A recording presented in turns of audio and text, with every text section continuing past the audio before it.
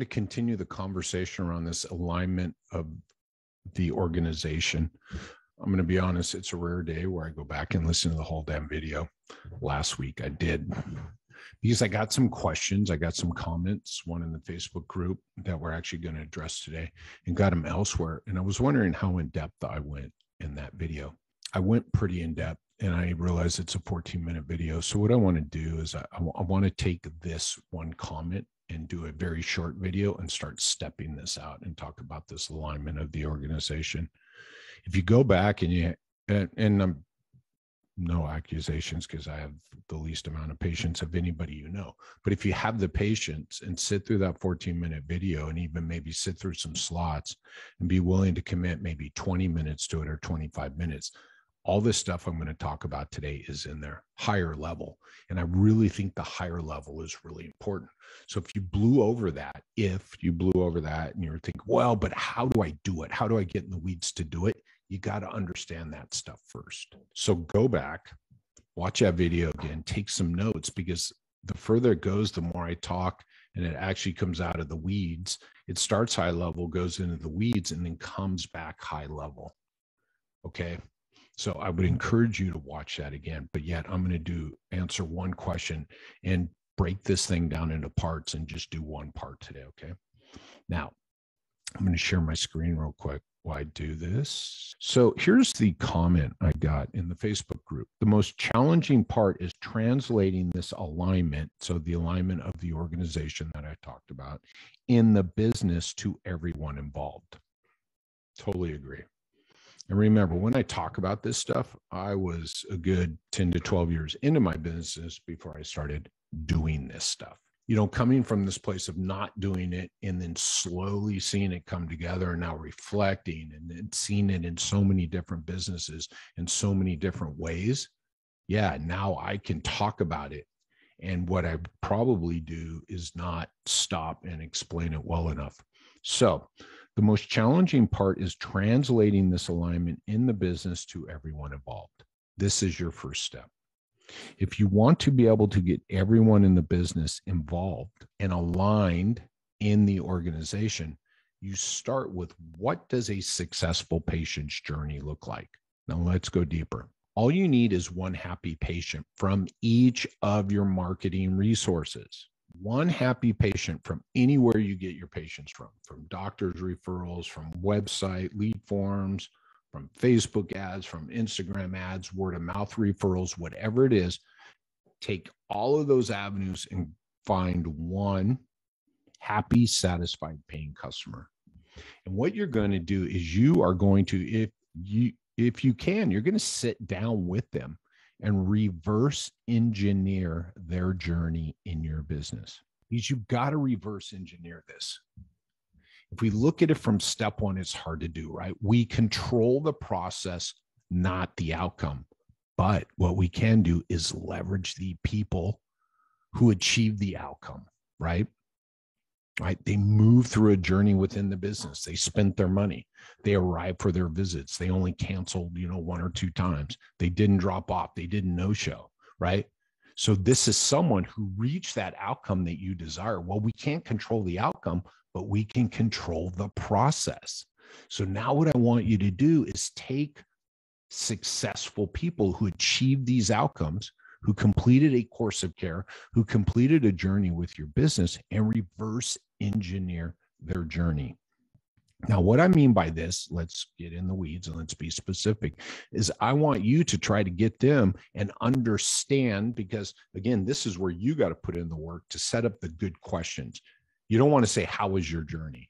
Right? You got to say, you know, you got to say, and you can't just keep going what happened next what happened next what happened next right you want to have a conversation with them but i would start from the beginning right so you know so bill you heard about us you came mm-hmm. through our website right and you filled out a web form so what was it you saw on the website that got you now mind you i started back here but i'm trying to get his brain going right what is it you saw on the website that got you to fill out the web form we're starting to map out this journey. Step number one is he got to your website. If you want, how'd you find our website? Bring it back another step. I was looking for a solution for low back pain and I found your website. The next best question would be, what did you search? Cool. And then you got to the website. So, what did you see that got you to click on the web form? What convinced you to fill out the web form? then you might say, because you might know too, right? Okay, when you saw that first email response, right? What did you do? You need to do this, my friends, because by the way, you're mapping out all these touch points. So we're get everyone involved. Well, right now, the person building out your website and making your website decisions is the most important person.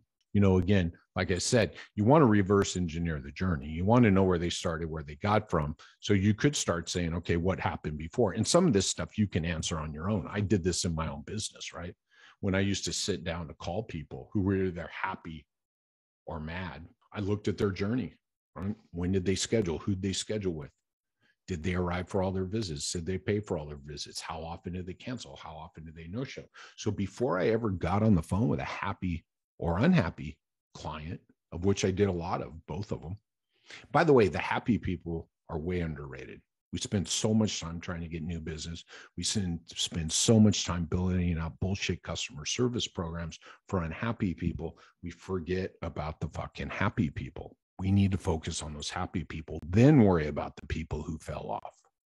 But the people who fell off, don't tell you anything till you understand the journey they were on. So take these people, maybe take them back to the beginning a little bit, do your homework, and then start asking them questions. And if you want to start from the beginning, and then so you call, you know, and then uh, someone called you. Yeah, do you remember who called you? Maybe they do, maybe they don't. You don't need to know the details of the conversation. You need to know their experience, their emotions. So, what happened when we called you? well, they were friendly and, you know, they really made the call about me. Cha-ching, right? Okay, cool. And then you decided to schedule? Yeah. And then you heard the price. Yeah. After you hung up the phone, do you remember what happened next? You may know they got an email or two. And then if they don't, you could ask them about those emails. They don't remember them, remember, we're asking them at the end of their journey too. Could be a thing that we need to focus more on them or we don't by the way, I'm just building this out here every step, this patient's journey that you see here on the screen, right? And then I asked them, okay, you know, and then, okay, so you were told it was going to be $230 on the eval. So days are going by. What's going through your head, by the way? Maybe you know they've never experienced physical therapy before. They've never experienced your dental program, your chiro office, whatever it is, right? whatever kind of healthcare practice it is, right? Because I would start to break them down as is this someone who knew what they wanted from us? Is it someone who was told that what they would receive from us? This is how we get everyone involved, right? Because then we talk about the first phone call. Well, they made it about A, B, C, and D. And then they told me the cost. And you're like, whoa, who took that call, right? And this is the front desk's role in making sure there is organizational alignment in your business because they're preparing this person to arrive and pay that $235 and meet their expert. I don't care what your business is, meet their expert. So, what happened when you arrived? What about the paperwork? What about the greeting, right? What about the wait? What about when your provider greeted you? What about your first visit with the provider, right? And then taking them through this journey, you got to document this whole journey because what you're going to see is all the touch points, everybody that needs to be involved. And by the way, if they start talking about your physical space, wasn't clean, right? The chairs were uncomfortable, right? Then we talk about how maintenance is involved in organizational alignment you must understand this patient's journey. And so instead of just saying, you must understand this and then go and go do it, I just gave you an example. Find one happy person from every possible input into your business, every lead source, and talk with them about the process they went through. So again, we're applying this. We don't control the outcome, we control the process well, I'm going to take everybody that achieved the outcome we desire, complete a plan of care, spent $1,000 with us, whatever it is, bought a pair of frames, right? Had whatever dental work done, whatever they are, because they reached that desired outcome. So, what was the process they went through? And then we want to keep reproducing that process. I always say this line, and I'm not exaggerating. You only need one happy customer, one happy client, one happy patient if you then sit down and break down this process and where did they come from? Because what else? You may want to find you, may just figure out that you know what? We just need more of these people with this mindset. Well if you talk them through this and they tell you what was important to them this is why don't get don't get caught up in the objective measures in this conversation. Get up and get caught up in the emotions they share because that's who you're going to direct your marketing at to bring more people into your business, into your system that are going to be easier to move through the process and have an increased likelihood of achieving that outcome you want desired. And I'm going to tell you this your team's going to enjoy working with those people more better right? So we get the web person, the marketing person designed around this alignment in the organization. We make sure the front desk is aligned around the conversation that the web people put together that this ideal client is expecting. The emails align, arrival aligns, your provider conversation aligns, the evaluation aligns, the follow up conversations align. We find out what things are valuable to them. We build this into the website, into the conversation, right?